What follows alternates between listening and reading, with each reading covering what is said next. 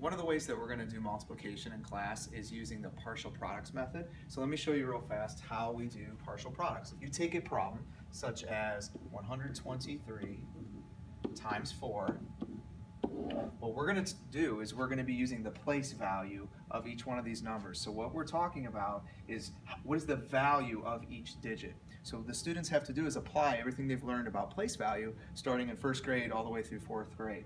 Now what we're going to do is we're going to say that this is not a 1, this is 100. So it's 100 times 4. That would give us 400.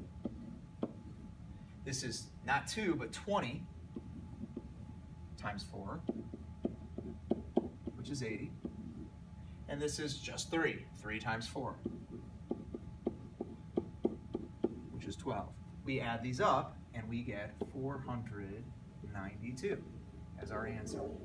Okay, so again, this is called partial products.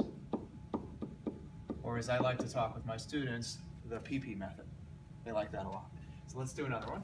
Let's go double digit. Let's go 35 times 42. Okay, so I'm going to start with basically like kind of how we would do in the traditional algorithm. We're going to go in that same order, the up and the over. So I'm going to first do 2 times 5. 2 times 5 equals 10. I'm going to line these numbers up by place value so that I can add them up nice and easy at the end. Then I'm going to go 2 times 30. Not a 3, but that's worth 30. So 2 times 30, and that would be 60. Now I'm going to go 40, that's a 40, 40 times 5, and that's 200. And then I'm going to do 40 times 30.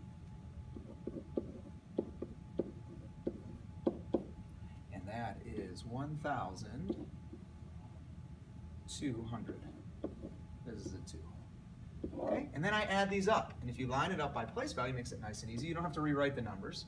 We've got 7, 2, 4, and this is a 1. So our answer is 1,470. So that's how you solve multiplication problems using the partial products method.